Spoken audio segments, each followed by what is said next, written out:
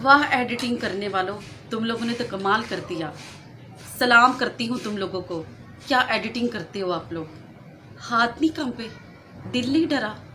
आँखों में शर्म नहीं आई कि किस गंदी लड़कियों को आप मेरे साथ जोड़ रहे हैं। आज मैं उस लड़की का असल चेहरा, उसकी सारी हकीकत अपनी यूट्यूब वीडियो पर साथ मेंशन करूँगी, दिखाऊँगी कि वो असल लड़की कौन है और किस लड़कियों के साथ आप लोग मुझे जोड़ रहे हो। खुदारा खुदा की बारगाह में शामिल होना है आप लोगों को पेश होना है आप लोगों को। खुद तो खुदा का खौफ करो।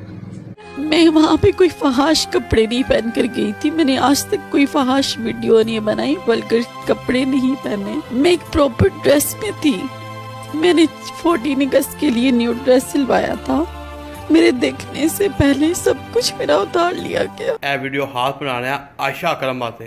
ਉਹ ਫੇਮ ਲੈਣ ਦੀ ਖਾਤਰ ਉਹ ਸਭ ਕੋਈ ਕਾਰੀ ਟੋਪੀ ਡਰਾਮੇਕਾਰੀ ਉਹਦਾ ਹੁਣ ਟੀਵੀ 'ਚ ਬਿਆਨ ਕੀ ਆਇਆ ਪੁਲਿਸ ਨੂੰ ਕਿਹਾ ਆਪ ਮਜ਼ੀਦ ਕਾਰਵਾਈ ਨਾ मैं फ़ेमस जेड होना मैं हो गई हाँ अस्सलाम वालेकुम बहुत सारी आप बातें सुन रहे हैं सोशल मीडिया पे आवाम की। आ, सुनी सुनाई बातें आप सुन के तो उन पे ही अमल किए जा रहे हैं। सच बात आप लोगों ने मुझे मजबूर कर दिया कि मैं अपनी ही सफ़ाई पेश करूँ।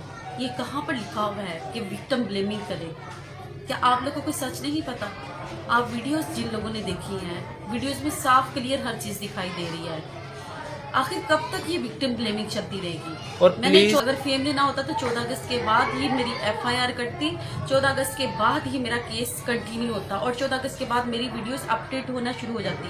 लेकिन आज आप लोगों ने मेरे इस टूटे हुए दिल को मजबूर कर दिया। और प्लीज़ और प्लीज़ आप सच का साथ दें हम अपडेट देंगे यूट्यूब चैनल पे आशा बेग ऑफिशियल पे। और सच का साथ दे हमें हमारा जो है आज बहुत ज़्यादा तकलीफ़ में है और उसे शूट करने में मसला आ रहा है, क्योंकि वो नीचे ऊपर नीचे ऊपर होते हुए। बाकी कोई नहीं, खैर है। अभी जाओ भाई।